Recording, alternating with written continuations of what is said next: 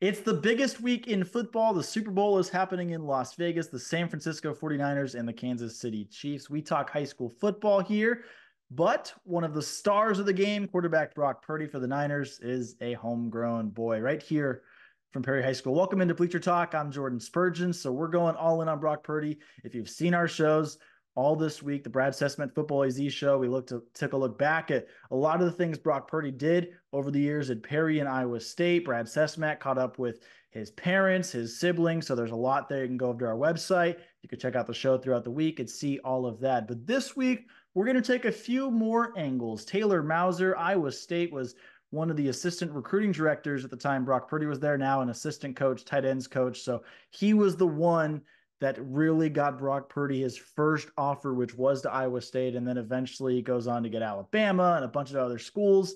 But because of Taylor Mouser, because of Matt Campbell, Brock Purdy went to Iowa State. So we're going to catch up with Taylor Mouser to talk about that, talk about AZ high school football recruiting because he does recruit here in the state heavily. So we're going to talk with him for a few minutes. And then last week, I caught up with Dan Manucci, quarterback guru. He's over on Fox Sports 910, played in the NFL. He was Brock's quarterbacks coach, still is Brock's quarterback coach at times in the offseason as well. So we're going to replay some of the best moments from last week with Dan Manucci, just talking about the things he saw in Brock, even as a little tiny ninth grader, and how he's not truly surprised that he's in this moment, regardless of how big it may feel. That's all coming up on Bleacher Talk. But for now, here's my conversation with Taylor Mouser.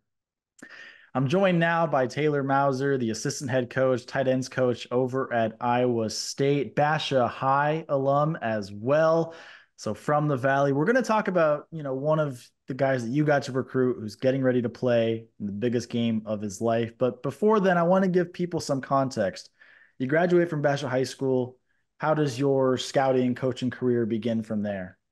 Yeah, so I, I graduated from Basha High School in 2009. I played for Tim McBurney at Basha, who uh, him and D-line coach Richard Gray really helped me fall in love with football, and uh, I was lucky enough to go from there. I played at a D2 school, uh, Adams State University in Colorado, and played there for four and a half years, and then wanted to get into coaching, and really I uh, I had sent my you know information and resume and all that stuff to pretty much every uh division one you know division FCS, or one double A at the time, and uh, reached out to a lot of schools. And the only school that that hit me back was Coach Campbell at the University of Toledo, who's our head coach now at Iowa State.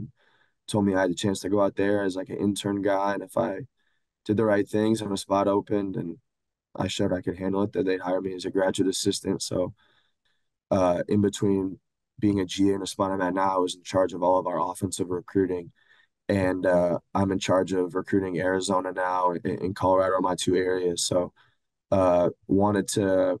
I couldn't get Coach Campbell to recruit uh, Arizona at Toledo, but when we got out here and there was direct flights, it, it made things a little bit easier. And he uh, bought into the vision that I had to recruit Arizona, and that's kind of you know in, in, a nutshell how it all kind of unfolded in a in a fast version.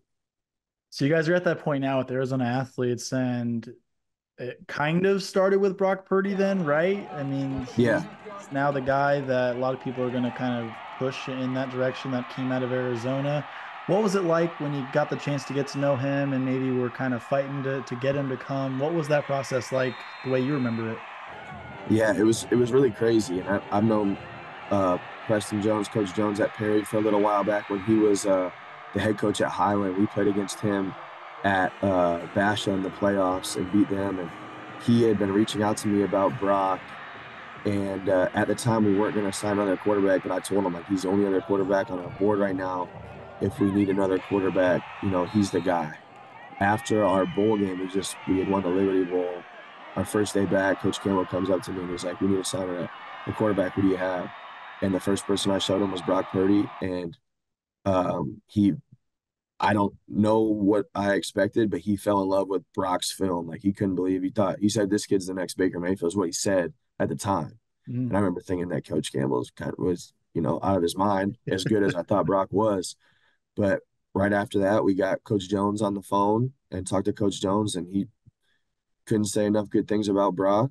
And I talked to Brock, and Coach Campbell talked to Brock. We offered him a scholarship, and he didn't really have anything at the time and uh, did a home visit. Got him scheduled on an official visit. He came up that weekend, and it was really good. And um, we flew out the next week to do our second and last home visit. And walking out the door, like we felt really good about we were going to get Brock, and he got like Alabama as we were like walking out the door. And I'm like, this is gonna get this is gonna get nuts. And uh, we were lucky enough to show him what makes Iowa State Iowa State and Coach Campbell so special. And there's a little more I want to touch on with him, but you, you said something that I've learned in my four years out in Arizona, and it's slowly adjusting here. You're in Arizona, boy, so you might understand this as well. But the importance of being the first, and especially when you're a program in a big conference and you're first before even the schools that are basically right down the street from them are offering them. Like in Brock's situation, ASU hadn't yeah. looked at him yet, and you guys no. were first. He gets all the big schools after. But how important do you think it is? To be the first one for some of these guys because they see the love that you give and they're going to reciprocate it by potentially going there because I see a lot of guys it's usually the first school that gives them love. They they just continue as long as that connection was there they continue and one end up going there. Yeah I think it's uh it's huge. And we had Breece Hall was the class after Brock and we were his first offer. And I think that was how we were able to beat out some pretty big schools with him. And so I think being first with him and getting him on the phone with Coach Campbell and those two just had such good chemistry, like out of the gate with uh, what they their envision for you know Brock was and what Brock's and you know vision for his college experience was, and they were able to just build so much trust so fast. I think that really helped us, you know, stay in the lead there. But you know, if we're not as early as we are, I certainly don't think that you know that puts us in the spot to get him and be able to get in front of you know his mom and dad and family and show them just what makes Iowa State so special here is you know the the people and so you get them there, you get them on campus, and then the next four years, it's it's it's quite a journey.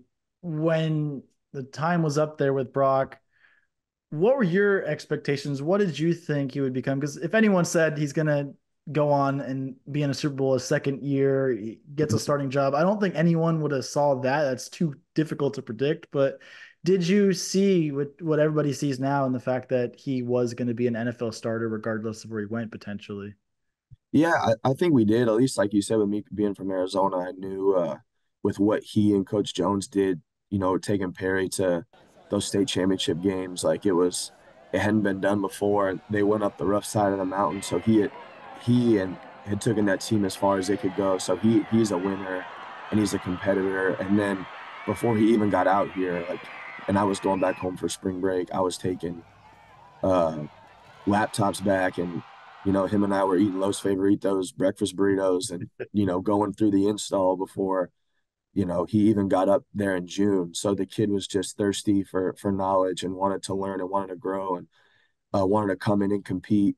He found a way to get the ball to bounce our way, like I've never seen, and he had a way to draw everybody together and get everybody to buy in, coaches, teammates. Like he's just got this incredible energy about him. And you just knew that kid was special. And even when you watch his career and there's like the, you see, you hear the people that troll him all the time, they find like the bad clips, but almost every single time after one of those clips, like he comes back and like leads a touchdown drive when I know I don't have, you know, a lot of kids don't have the ability to come and overcome adversity like him. So he's so grounded.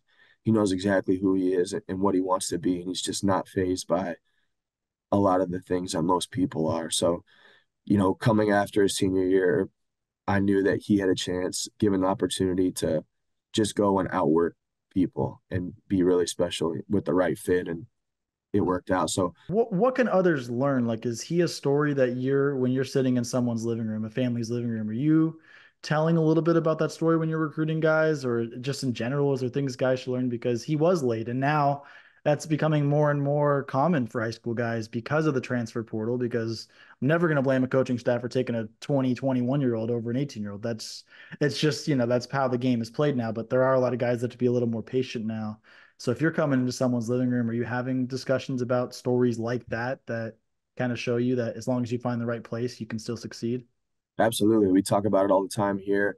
And you see just with recruiting now, like so many kids see what's going on. Social media doesn't help it at all either. And all these kids are chasing like seven on seven leagues and they're going to all these camps and which is good too, you know, but I think still working with your high school teammates towards having like an incredible senior year and a great experience. Cause like for us as football coaches, like that's what we want to see. And at least at Iowa State, like we're not people that are going to live in the transfer portal. You're a Basha High alum, and they've had a lot of success recently. They've been one of the top yeah. three, four teams in the state in the last few years. Chris McDonald has has it cooking. Do you uh, get a chance to pay attention over there? You got a oh good relationship God. with them. I'm uh I'm upset. I mean, I don't want to get in trouble with the other coaches there because I love them, but I love Coach McDonald, man. That guy's awesome. We signed a, a running back, Dylan Lee from uh, Williams Field out there. We went and did, you know, before we did the home visit, I took Coach Campbell to meet Coach McDonald. And I have so much respect for what he's done with that program. The kids are awesome. They work hard. Last thing I got for you too, and, and this applies to Basha because they have guys they played on national landscape. They've got you know all this talent all over, but really all over the state. There, there's so much now. What do you think of the AZ versus everybody? You're recruiting these guys. You're seeing just the talent over here. Talent wise, is I, I certainly think it's there. You see a lot of those schools they go play nationally, and they either beat you know teams from these powerhouse states, or they're right in it with with teams, and they're not afraid to go compete versus anybody and to watch like how much the states got recruited since I was there, like it's uh it's insane. And the the coaches do an incredible job of showcasing the kids. They're always available. And the high school football coaches in Arizona need to get paid more money. So I don't I'm a however I can help that movement. pay the high school football coaches in Arizona more money because they're great football coaches. The football is great. Uh, I can't say enough about how good the, the football is in Arizona. I certainly think it's on par with any state in the country. I'll take the best kids from Arizona and put them against anybody, and I bet you they turn out pretty good. So I'm I'm very much impressed and, and think that Arizona high school football is on par with anybody.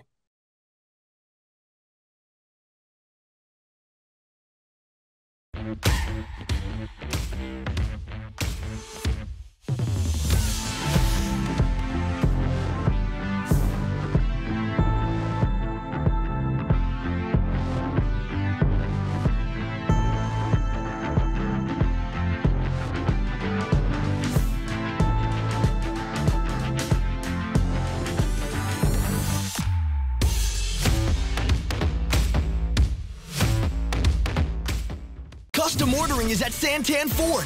Colors, wheels, trims, performance packages, and more from the factory right to your driveway. And you can even track your custom Ford every step of the way. We are Santan Ford. It's spring, so come for the games and have a ball in Arizona.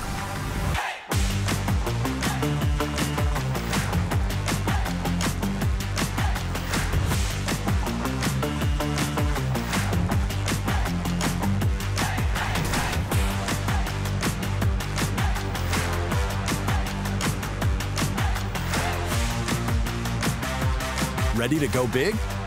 Plan your getaway today. Bienvenidos. Here in the heart of the American Southwest, you'll find three well-known restaurants all named Valle Luna, serving the finest Sonoran-style Mexican food known across the country and beyond. And we're open for business, so come on in. We've fired up the grill and iced down the refreshments and even added some specialties along the way. Thanks for coming. Hello. Greetings. Welcome back. No matter where you're from or how you say it, at Valle Luna, you're always welcome, and we're glad to have you back. Discover more Play for All at Harrah's Ak-Chin Casino. Hi, folks. Here are your drinks. Where having fun means racking up reward credits with the Caesars Rewards loyalty program. that can be redeemed for food, free play, hotel stays, and more. Not only here in the city of Maricopa, but also at more than 50 Caesars properties coast to coast. From Harrah's Las Vegas to Caesars Palace in Atlantic City. What are you waiting for? Play for all at Harrah's Ak-Chin Casino, the official sponsor of Play.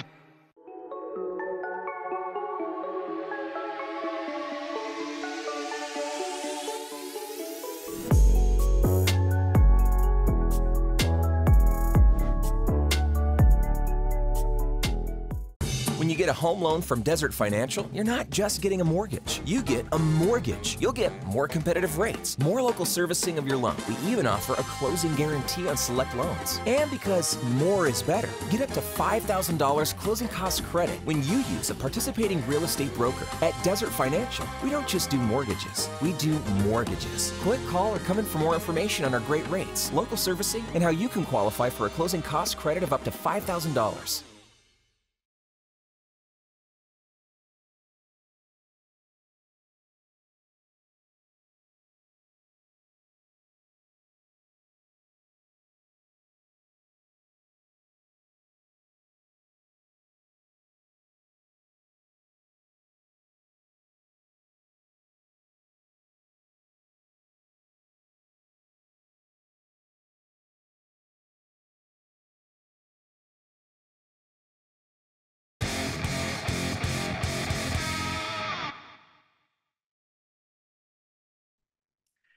Here with Dan Manucci now, and we'll get right into it. You see the hat, see the shirt, all of that. Dan, you've worked with Brock Purdy since the ninth grade. You see him here now. He's in the big game, heading to Las Vegas with the Niners.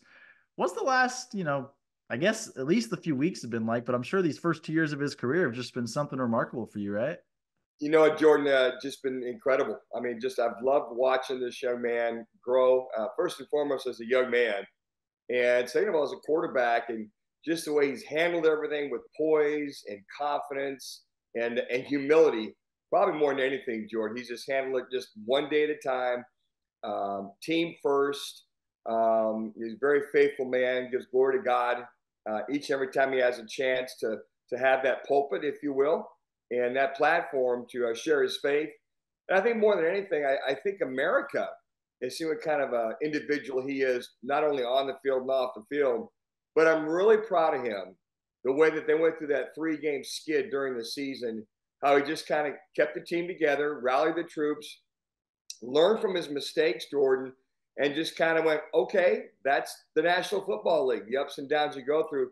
That's what I'm really proud of him in reference to kind of setting the tone and the team setting the tone as they headed into the playoffs this year. There's a lot there that I'd like to touch on. So when you saw him, you know, all the way back in ninth grade, I'm not going to necessarily ask if you ever saw this for him. I think that that's hard to predict in anything, but were those traits there? Like, was he someone that was so confident in his faith, confident in his ability on the field, confident in who he was as a young man? Or is that something you're really just seeing kind of blossom more and more every day? Like, well, how do you see Jordan, that? A lot of people ask that. The number one thing, he, he always had that confidence. He was mm-hmm. always very even keeled. He had the confidence. He worked hard. He always worked hard. And the one thing about Brock, and, and I shared, I talked to his dad about this, Sean Purdy. I said, look, the kid is an old soul. He's mature beyond his years. Uh, he's very focused. He's bound and determined, but in a very humble way, if you will. And every time he came home, whether it was uh, in the off season in high school or in college when he come home from Iowa State, or the times he would come home excuse me, uh, prior to the draft, and then after the draft with our workouts, he got better and better and better. Uh, his accuracy, he and Chubba, his brother Chubba Purdy, have always been extremely accurate. It was just a matter of getting the footwork down, getting the time, the kind of throws he's going to have to make at the next level down, and trying to help him to understand uh, what he's going to be going through at the pro level. So he was always receptive, always working, always wanting to get better. But the biggest thing was knowledge, wanting to know where to put the ball, what he's going to face, and then kind of gearing him up ramping him up to play the kind of speed that he's playing with in San Francisco. Speaking of speed too, I know a lot of the discourse last week was, wait, Brock Purdy can can run. He's an athlete. I mean, he's been that since high school. It's before my time here, but I've seen the highlights. We have the highlights up right now, and um, that's a part of his game that I'm sure you've worked a lot on with him. But he's he's a sneaky athlete, and you know, I think uh, as part of you know the modern quarterback, there really aren't many quarterbacks that can't move anymore. But are you surprised that people haven't noticed that through his you know first two years in the league, and it kind of took well, last week even to see that? And I've talked to a couple people about that. He hasn't really had to show that yet, but he we've seen that in high school. His elusiveness, his escapability. Uh, he's sneaky quick, I guess is the term. Um, he can run. He can move. He can throw on the run. And for me and a lot of people that have watched him over the years, he's always had that. Mm-hmm. It's just now he's put it on the map and he's put it on a full time display on a national view. I should say international view. Last thing on Brock's here, and then I want to touch on some things that you do and, and, catch up a little bit. But you know, we hear a lot about the it factor with certain guys, and that's thrown around a lot with him now, along with game manager. The team's having fun with that. I think it's hilarious. I'm glad Brock's kind of making light of that. How do you kind of describe or summarize that it factor? Because I feel like everyone has a different description, and he kind of fits that general mold of it. It seems like. You know what? the it factor to me means a, a guy that produces at the right time. Hmm. And I think we've seen Brock produce these last two playoff games in the right time. And when I say it factor, it's it's a person or athlete that never gets discouraged, never gets down, um, always finishes strong, always bounces back. And that kind of describes what Brock Purdy's all about. I mean, here they are down by 17 points in that that championship game and never lost his poise, um, pretty much knew he could get the job done and and knows he has to get the job done. And that's the other thing. When the weight's on your shoulder and people say he's got the it factor, it also means that he can get it done at the right time, and also that that team is is looking to him to lead them on. So the it factor is a combination of things, but more importantly, uh, the it factor, as far as I'm concerned in sports, is that Brock Purdy's a winner. He's a winner. He's bound and determined to win no matter how much he's down or up. He keeps his poise, he keeps his composure, uh, doesn't get rattled even if he has a turnover, but understands what he has to get done during those moments. So I hopefully, for me, that's the it factor, the way I look at it, and the way I look at Brock Purdy and his it factor that he has in staying. And and next to that it factor is it backslash confidence, which he definitely has.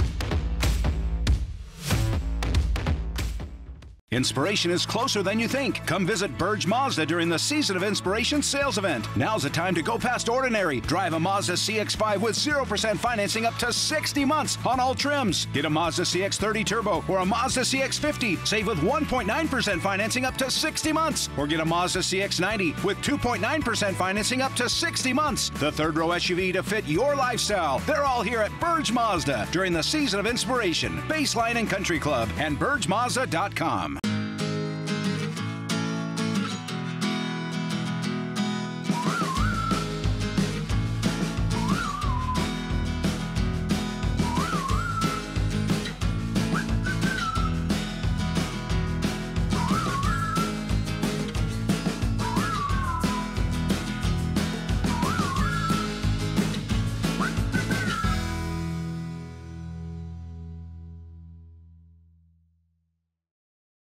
Let's talk about Venezia's Pizzeria, New York style pizza. Oh man, this looks so good. Pizza dough is made fresh daily, wings, subs, sandwiches, pasta. They cater, they deliver. They have five valley locations. Venezia's New York style pizzeria.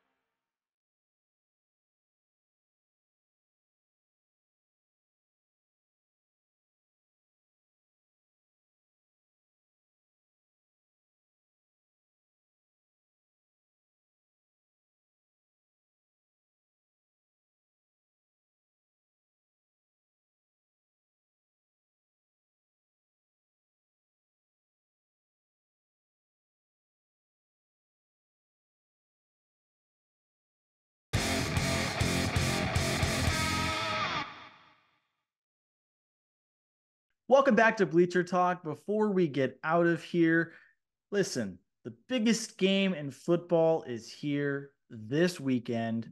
And Brock Purdy, I know some of you are probably sick of it being beat down your throat here in Arizona, but you have to love the story. And for all the kids and all the families right now that are watching, that's somebody you can look up to because there are going to come times where you're going to face adversity. You may be a kid right now, you finished your senior season, you don't have the offers you think you have. Maybe you're just now starting to get those offers. You can see that just because guys in your class already committed, or maybe you're already even on campus as early enrollees and you don't have anything signed to paper yet, that you're way behind the eight ball. And that's just not true. There are so many opportunities to play at the next level and even the level beyond that. I mean, playing on Sundays, you just have to put in the work. You have to find the right fit. They're going to come find you as well. If your tape is good enough, if your grades are good enough, if your character is good enough, they're going to come find you. You will have those opportunities. And maybe you have to get creative. Maybe, I know I talked a lot about this in a rant last week, but maybe you got to go to a JUCO. Maybe you got to go find a small school. Maybe you got to go be a walk on. But if you can play, you have all the traits, the character, the grades, everything. You can make it happen. Brock Purdy is the prime example of that. And we're not supposed to root for teams or root for outcomes of games here in the media, but I think it's safe to say a majority of us are rooting for the San Francisco 49ers this weekend because Brock Purdy is second year in the NFL, Perry High School alum. He deserves to win a championship. But we'll see how the game plays out. That's all I've got. I'm Jordan Spurgeon. Thank you so much for joining us on Bleacher Talk. We'll see you again next week.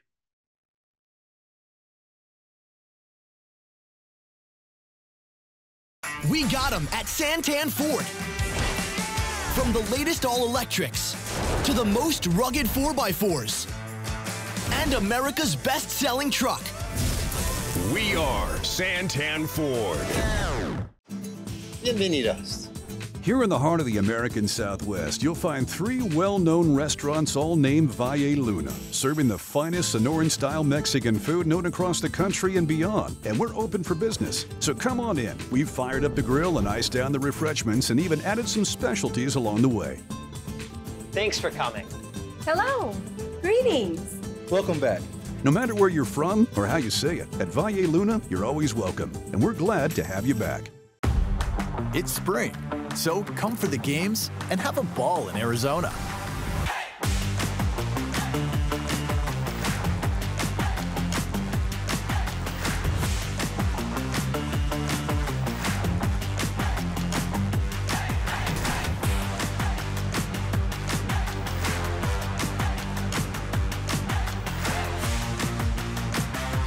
Ready to go big? Plan your getaway today. Visit us at Harrah's Ak-Chin Casino in the city of Maricopa, where you'll find play for all and friendly people ready to welcome you like family.